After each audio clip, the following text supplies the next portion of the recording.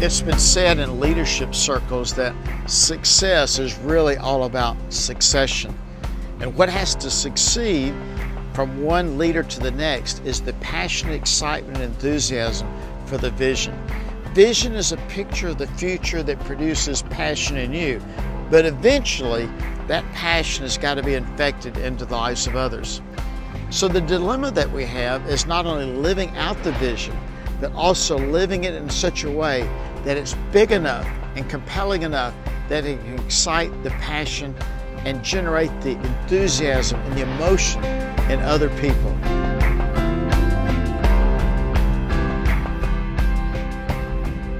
An analogy that helps me think about succession is really what happens out here on a track when a, a team of runners succeeds and passes on this baton from one runner to the next.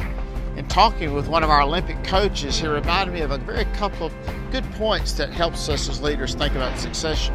One thing he said is really great handoffs are non-events. You can hardly notice the fact that the baton is being seamlessly transferred from one hand to the next.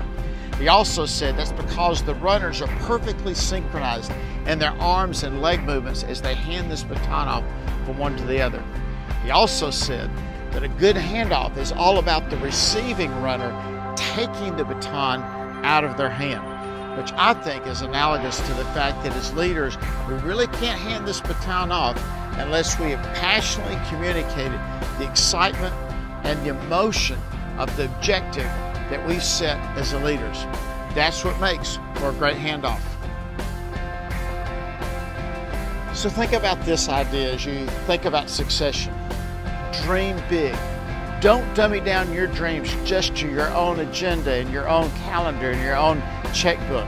Infect others with your great ideas. In fact, little dreams stir no man's heart. So dream big.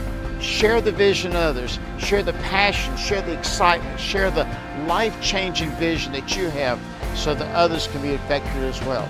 And add this baton to your leadership toolkit.